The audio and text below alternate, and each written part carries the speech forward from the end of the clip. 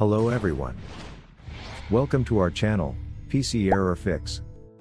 Seeing the invalid response received error on YouTube every time while searching any video, or while opening or commenting on any video. Then this video is for you. YouTube invalid response received error clearly signifies that the web server is unable to handle the client browser request and send the bad request. Today in this video we are here to show you how to fix YouTube invalid response received error so, below find out the solutions that you need to try.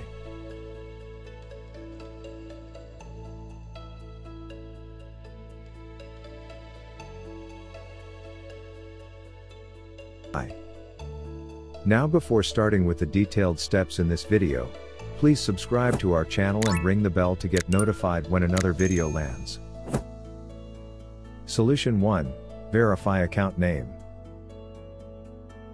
If your Google account does not have a name set up, your email will be chosen instead, and can cause the error. Open a browser of your choice on your device. Go to Google Account option. Sign into your account. Find the personal info panel on the left and click on it. Click on the Save button to finish the step. Now check if the error gets fixed. Solution 2 Disabling third party extensions.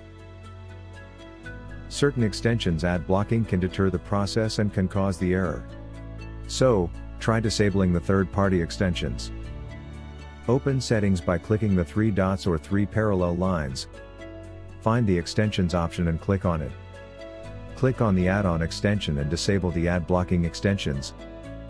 Now if you are using Brave browser to launch YouTube then disable the Brave Shield. Click on the video you are going to watch. Once you receive the message of invalid response received on YouTube, stop the Brave Shield.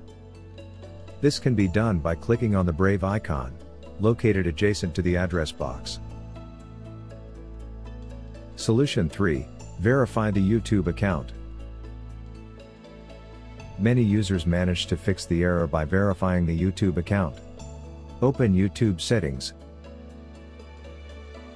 Click on Account and click on View Advanced Settings.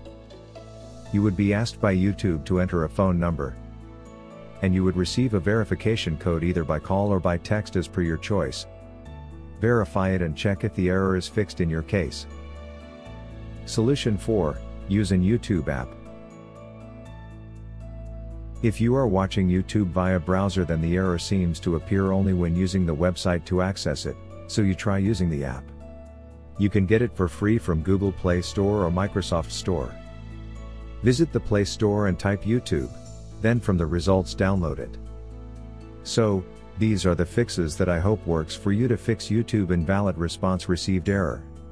Let us know in comment box, which solution works for you.